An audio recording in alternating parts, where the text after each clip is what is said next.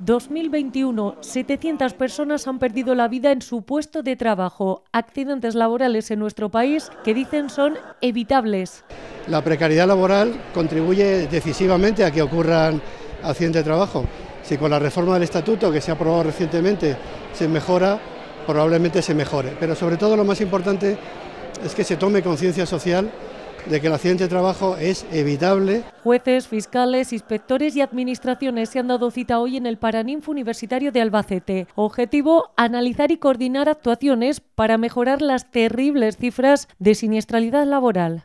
Si conseguimos reducir los índices de siniestralidad laboral, pues vamos a incrementar los índices de justicia en nuestra sociedad.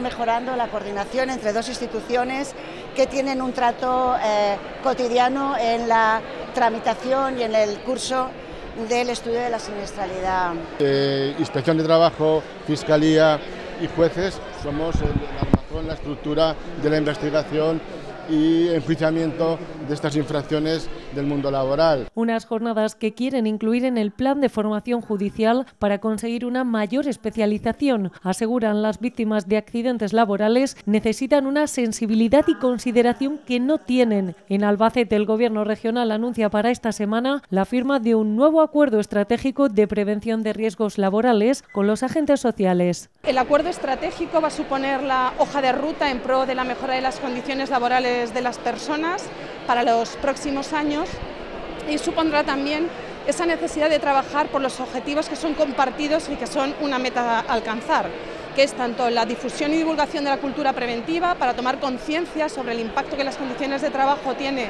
en nuestras vidas, como la necesidad de afrontar los retos que nos imponen los nuevos tiempos, como la transformación ecológica, el envejecimiento de la población activa o las nuevas formas de trabajo. Unas jornadas promovidas por el Ministerio Fiscal de Inspección de Trabajo con el Consejo General del Poder Judicial.